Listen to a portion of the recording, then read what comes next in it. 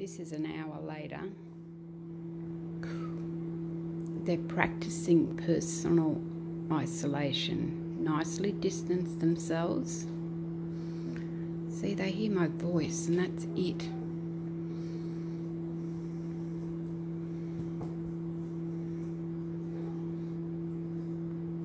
Mm-hmm.